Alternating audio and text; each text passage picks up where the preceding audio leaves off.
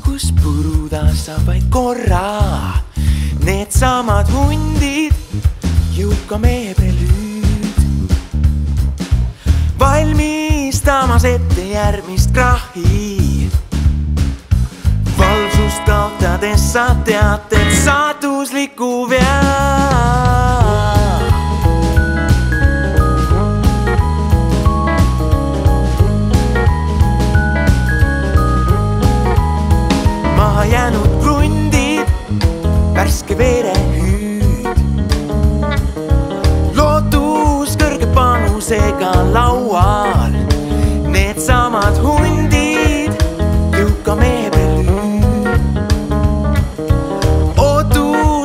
Minevikust lahti, kuid kord fortuna naeratab leiad, mida tulid otsima.